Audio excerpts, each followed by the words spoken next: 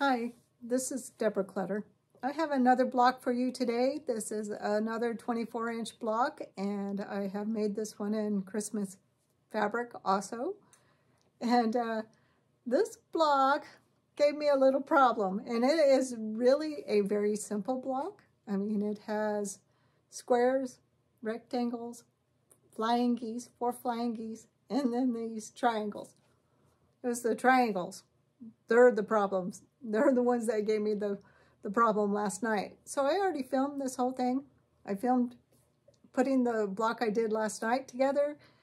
I was getting ready to upload it this morning and I just did not like the way the block had came together and so I thought I could do a little better job. So I went back and I adjusted my pattern a little bit and I'm glad I did. It worked much better today and it actually came out perfect and so I'm much happier. So the, we're going to use uh, two rulers, specialty rulers in this um, pattern. Sorry, everything fell on the floor. So we're going to use Deb Tucker's wing clipper again, and this is just the original wing, wing clipper. I think there's a like a wing clipper and a wing clipper too, and this is just the original one. They're about $25. And we're going to use this to trim the flying geese. And the flying geese are four and a half by eight and a half in case you want to make them some other way. And really easy, easy to do. And then the other thing we're going to use is this little tool. And I don't know if anybody's ever seen one of these, but it is a triangle trimmer by Fons and Porter.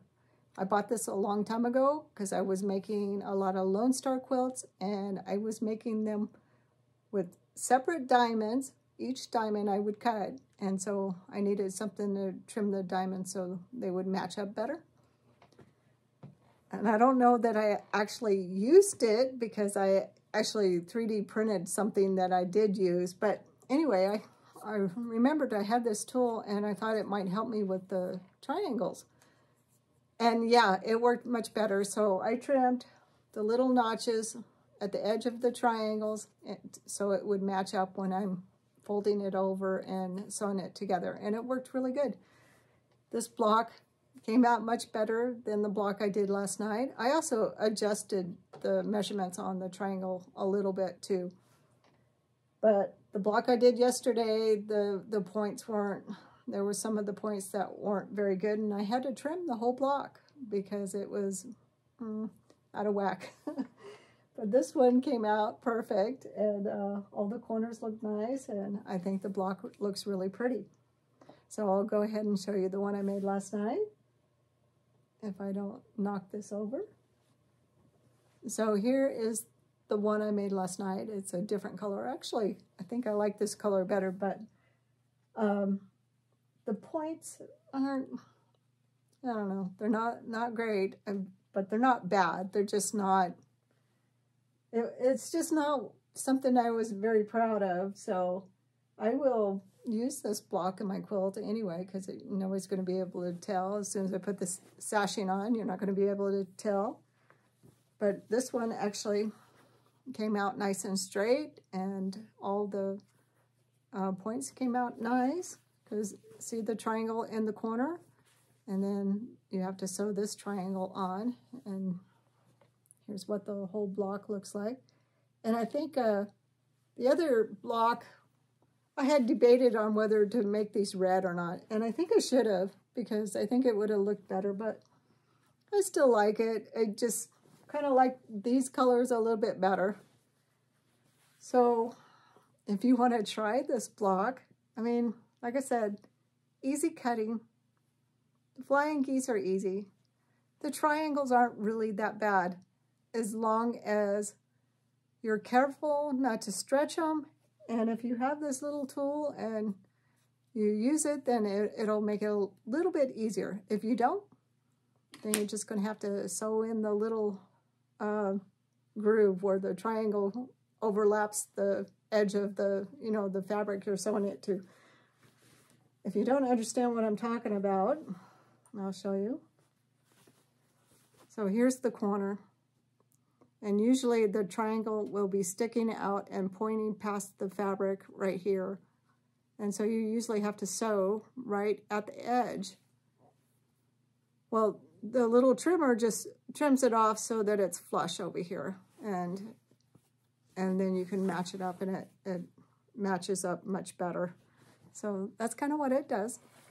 I hope you like this video and um, let me know. Thanks. Bye. Here's the instructions for the block we're going to be working on. And I suggest that you take and write the color of the fabric you're going to use in each one of these so it doesn't get all confusing because obviously your colors are going to probably be different than mine. And so I'm going to go ahead and start. Uh, the A piece is the middle, and this is my middle piece. And then we have the B pieces, which are these big uh, rectangles around the star, and they're going to be green. So here's my B pieces. The star points are going to be this gray, and then here's all the background colors. Now, this one is for the flying geese, and these three squares are all the same size. But one of them is for the flying geese, so we'll set that aside. And then we have these two squares, and we're going to need to cut those in half.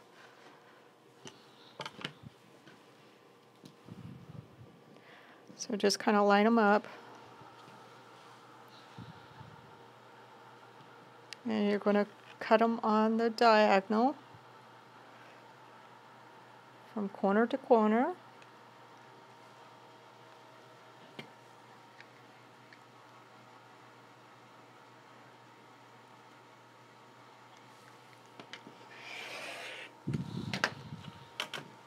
just like that. And then I'm just going to stack them together.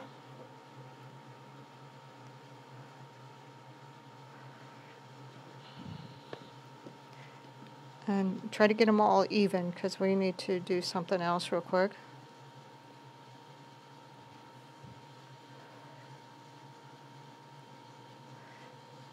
You can do this each one separately if you want, but Nobody wants to do anything twice, so just going to carefully line them all up.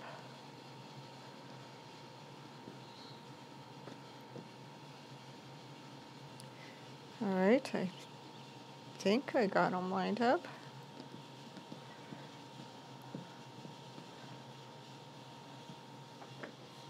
So I have this little tool that I bought from Fons and Porter.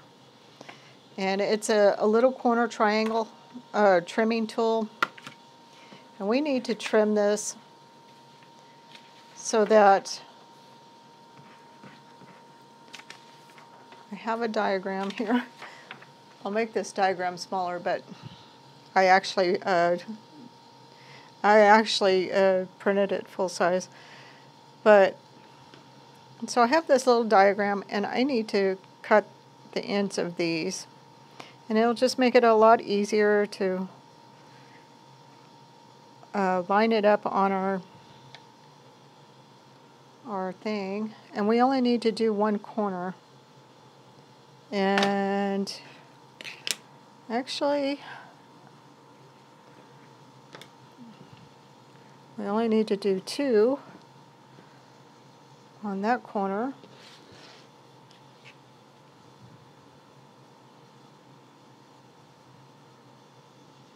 Make sure I get this right. Yes, two on this corner. And then two on this corner.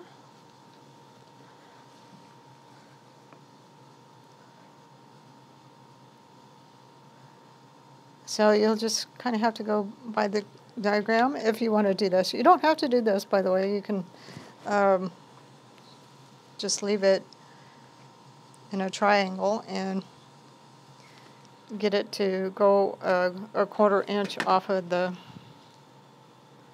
um, the side, but I tried that. I already made one block and I didn't like it, so I'm going to do it this way. So if you lay these on top of each other, one corner is cut on this side and one corner is cut on this side. So just make sure you do it that way. So those are the D's. And then we're going to cut the F's in half also.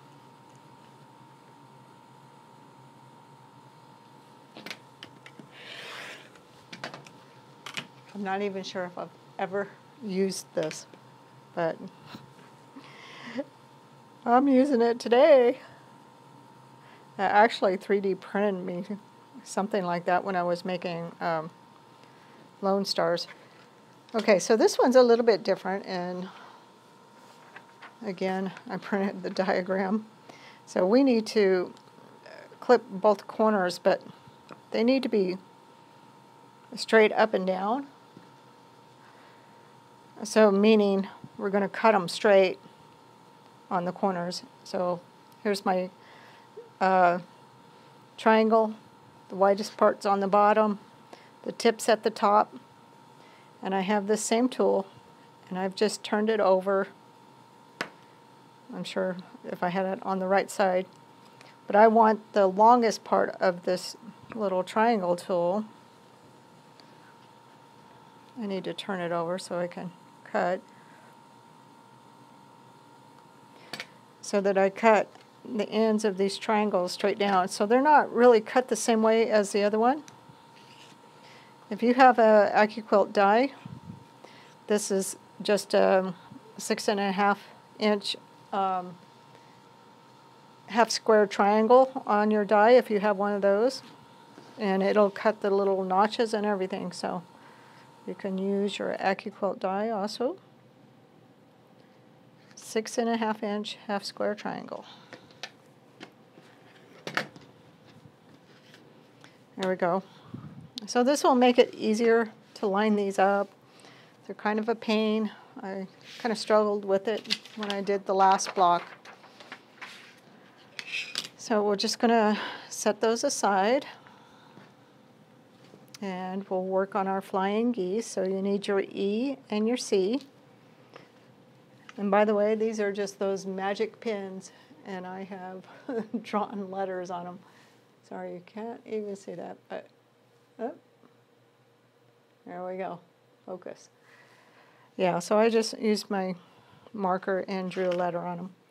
So we're going to take our little squares and we're going to put them in the corner and I just offset it about a 16th of an inch and you can pin this if you want. I usually kind of live a little dangerously and I don't pin it, but you want to put a pin in there, keep it from moving around. Just make sure you do it at the corners because you're going to have to uh, draw a line. All right, so I'm just going to put one pin because the ruler doesn't really sit very well on this when you got the pins in. So let me turn it over to this side. And then we just want to draw a line from one corner to the other. And we're going to make four at a time flying geese. And where's my pen? I'm just using a regular pen.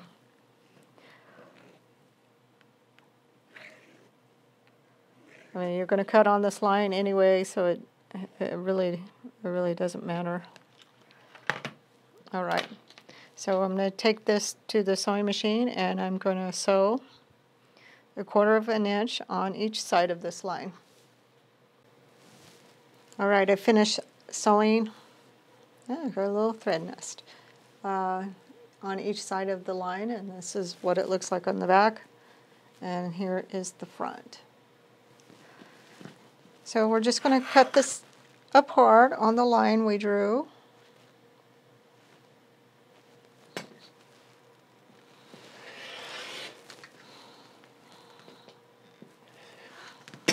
And it's going to make two little beautiful hearts. And I'm going to take this to the iron and iron it. And I'll be right back. Now that we have our little hearts ironed we just need to add the remaining squares. And we're going to add them the same way we did the other one in the remaining corner. And then just draw a line and so the reason for fudging it a little and not quite matching it up to the line is because it'll give you a little bit more room at the bottom of your flying geese so that you can trim it. If you don't care about that, then it's really going to be quite close. Oh, I don't need to cut it, I need to draw a line.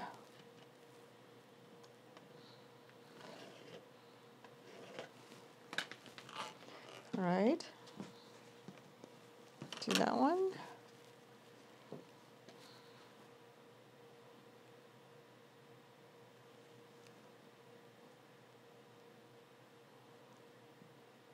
So I've done it both ways, not fudging it and fudging it. And um, I actually like moving it up a little bit more because I seem to have more room to trim it up. And since these are oversized, you can have the most success if you trim them down. Okay, I'm just going to take this to my sewing machine and sew on each side of the line I drew. Alright, I finished sewing on each side of the line I drew.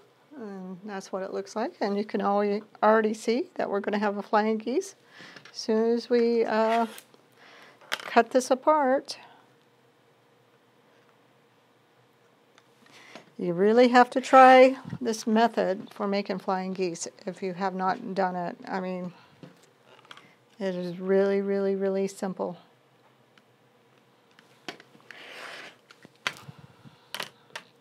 All right, and there we go. I'm going to go ahead and iron these and then we'll trim them up. All right, they're all uh, ironed and so I'm going to get my ruler and I'm using Deb Tucker's wing clipper to trim my flying geese. I love this ruler and this was the reason I bought it because it works really good. So I just need to put it on the 8.5 inch uh, V. So I'm matching up the V for the 8.5 to my piecing. and then I'm just going to cut there and then turn the block and there'll be the eight and a half inch mark just set my line there and then there's a little cross where the V goes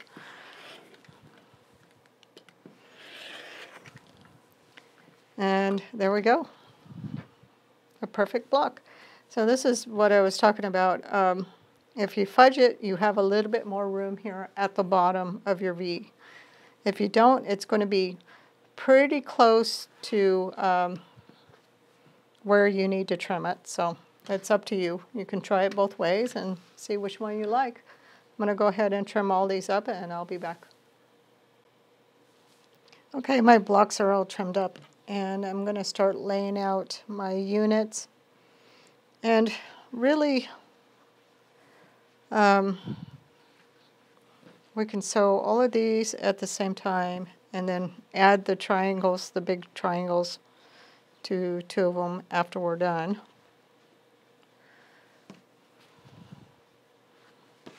So pretty much goes like that. And let's take a look at this and make sure this is going to lay correctly.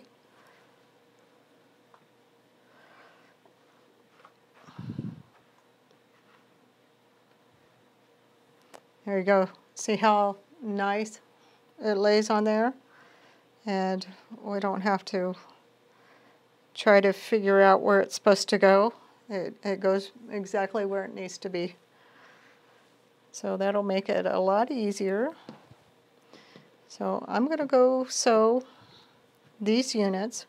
So we're just going to sew this to this and this to this. And then I'll come back and we'll sew the triangles onto two of them.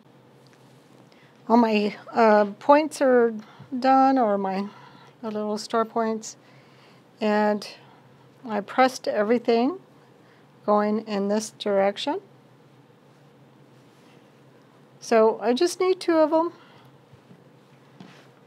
And we're going to add these little triangles. So we clipped two of them. The, those will go on one side.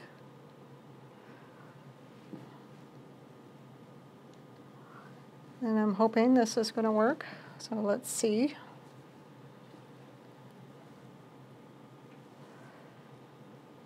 Yeah, it's definitely going to be a lot easier. So it's not exactly at the um, the angle I need right here, but it should meet up to the bottom of this. So I think that'll work out fine. So I wonder if I could have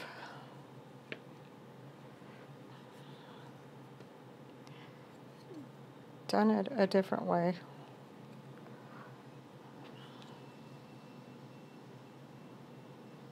I guess I could have done it this way. Like uh,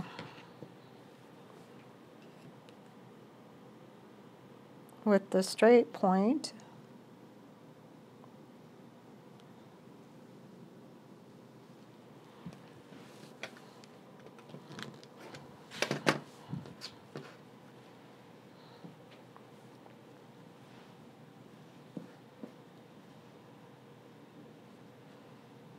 Hmm. Yeah, that kind of works. Okay, so I need to sew that to that side and sew the other one. And so you're going to use one of the short sides. You're not going to use the, the wide side. And then you're going to sew the other one to the other side on two of them. So I'm going to go ahead and do that, and I'll be back. I have all the triangles sew, sewn onto these. So I'm going to go ahead and set up my block. And these go in the opposite corners. Kind of like that. Let me see if I can get it all in here. As much as possible. And of course, this goes in the center.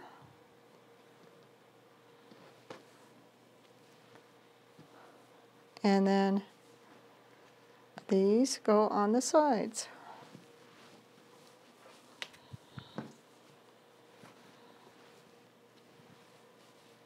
Well, I think that looks pretty good. Now, this was way easier to sew and it went together a lot better than the first one I made. And I think a lot of it had to do with one, I made these triangles a little bit smaller. And two, I used this little tool to uh, notch those triangles. And I think that helped a lot. So I'm going to go ahead and sew this middle one together. And then I'll sew these together and then I'll be finished with the block. So I'm sewing this triangle one of the uh, corner triangles on and I have pinned it and nested the seams in the middle and then pinned it and then I'm getting ready to pin the side but you can see this triangle hanging off of there a little bit. Let's see if I can zoom in. So I'm going to take my little notch tool again and it's easy when it's laying next to the piecing because then you know which way to notch it. So I know that it needs to be notched this way. So you can just take a pair of scissors and uh, line it up on both edges, just like that. And then just clip that little notch. And then it'll lay nice and flat and perfectly where it needs to be. Just like that. Hope that helps. Here is the finished block and my points came out much better today than they did last night when I made this block. And I think it, it has to do with using this tool. And uh, I am much more happier with it than I was last night. I filmed the whole thing last night and um, I was just going to leave it. And then I thought, well, I'll just make another block. I didn't really want to make another block, but uh, this one came out much better and I'm really happy with how it turned out. I hope you guys like this. And, you know, I'll put a link to all the tools that I have used in the video and you can go check them out if you'd like. Thanks.